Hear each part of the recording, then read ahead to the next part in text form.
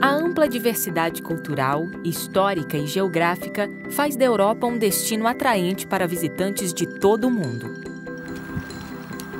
Antigamente, este era o centro do cristianismo. Com o passar do tempo, muitos desses países se transformaram em nações pós-modernas. A Igreja Adventista do Sétimo Dia trabalha muito para compartilhar o amor de Jesus com os habitantes da região transeuropeia, que inclui 22 países. Hoje vamos visitar a Grécia, a Macedônia e a Islândia para conhecer os desafios que os adventistas enfrentam aqui ao pregar o Evangelho. Bem-vindo à região transeuropeia.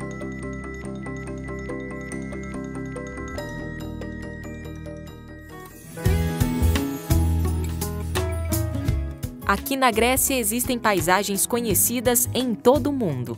Situado no coração do Mediterrâneo, esse país é o lugar ideal para quem busca lindas praias e clima agradável.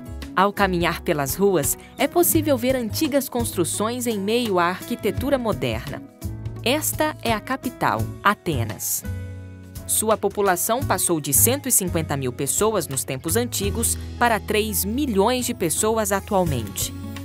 Em Atenas, a Acrópole se destaca no alto da cidade. Esse é o lugar de famosas ruínas, incluindo o famoso Paternon. Algumas dessas construções já duram centenas de anos. A Acrópole já foi uma pequena cidade de Atenas. Ela agora faz parte da lista de patrimônios culturais e monumentais da Europa. Perto dali se encontra o Monte Mars. Este é um famoso lugar onde o apóstolo Paulo pregou. Dá para ler diretamente na Bíblia sobre essa experiência.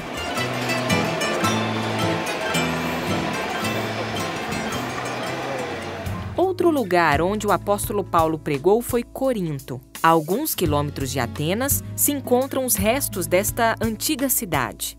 A estrutura continua de pé, mas está ruindo com o passar do tempo. Mesmo assim, é impossível não imaginar como costumava ser quando Paulo esteve aqui. Corinto foi o campo missionário desse apóstolo. Paulo queria que as pessoas conhecessem a Jesus. As cidades na Grécia têm uma grande influência cristã, mas o modo de pensar é muito secular. Existem menos de mil membros adventistas aqui entre uma população de 11 milhões de pessoas. Eles tentam alcançar o povo grego, mas o desafio é gigante.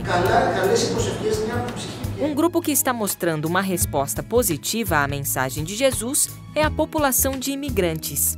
Eles vêm de todas as partes do mundo. Muitos vêm da África, da Índia e das Filipinas.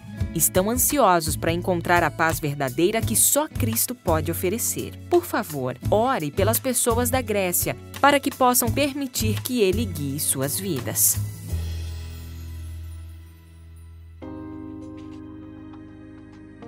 A Macedônia é um país lindo e cheio de história. Nomes icônicos como Alexandre Magno e Madre Teresa de Calcutá chamaram este território de lar. Ela está situada ao norte da Grécia e compartilha uma cultura semelhante. Sua população é formada por pouco mais de 2 milhões de pessoas e o número de adventistas é de aproximadamente 500.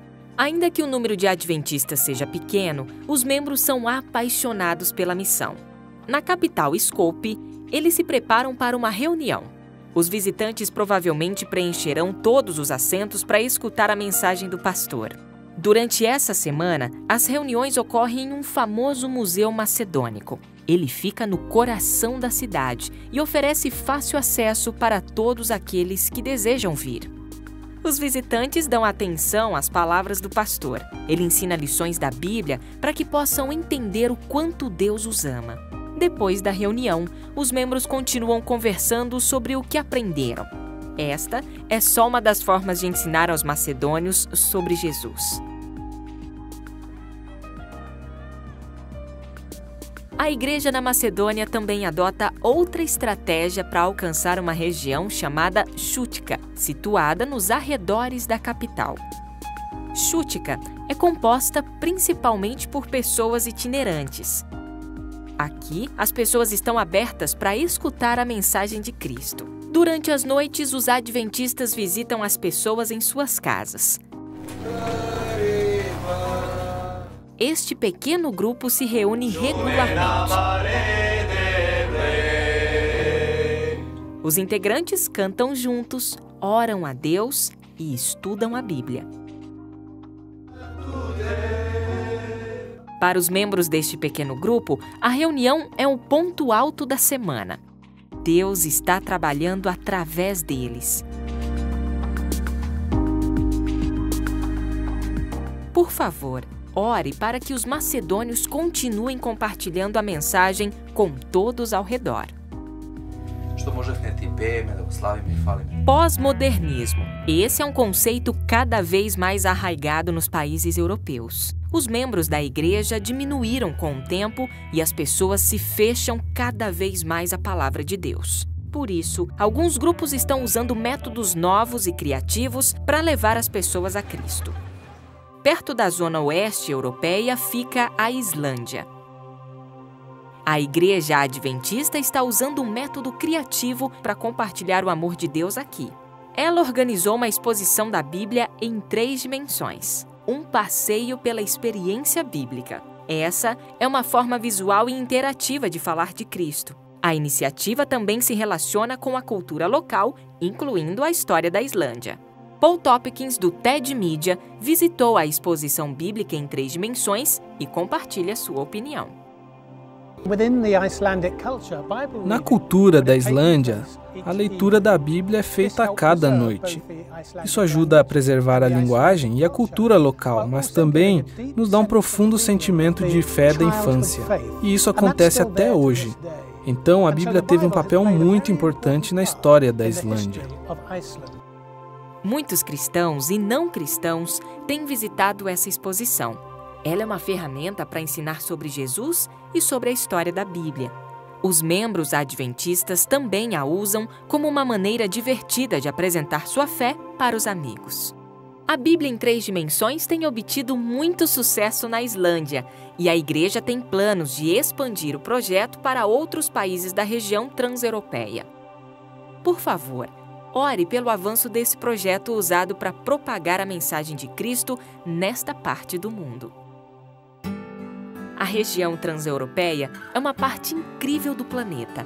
Os adventistas do sétimo dia aqui trabalham muito para compartilhar o amor de Jesus com aqueles que não o conhecem.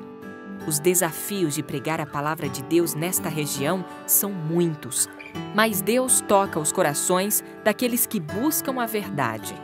Por favor, ore pelo trabalho realizado aqui e muito obrigada por apoiar a missão.